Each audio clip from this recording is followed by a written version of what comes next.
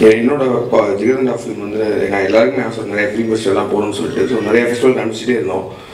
நிறைய இதில் செலக்ட் ஆகலாம் எல்லாத்துலேயுமே வந்து குற்றம் கடிதல் குற்றம் கடிதல்னு சொல்லிட்டு இருந்தேன். அப்போ எனக்கு என்ன இந்த படம் எல்லாத்துலையும் செலக்ட் ஆகிடுச்சு அப்படி சென்னை ஃபிலிம் ஃபெஸ்டிவல் நான் பார்த்தேன்.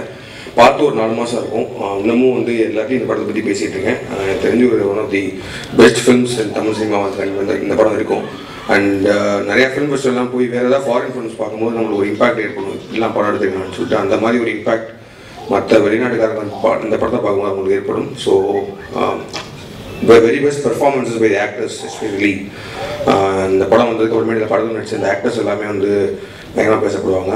And uh, Brahma great job இந்த டீம் uh, இந்த படத்தை சீக்கிரமே முன்னாடி பார்க்கணும்னு ஆசையாக இருக்குது ஸோ சீக்கிரமே தேட்டர் ரிலீஸ் பண்ணாங்க பார்க்குறேன் தேங்க்யூ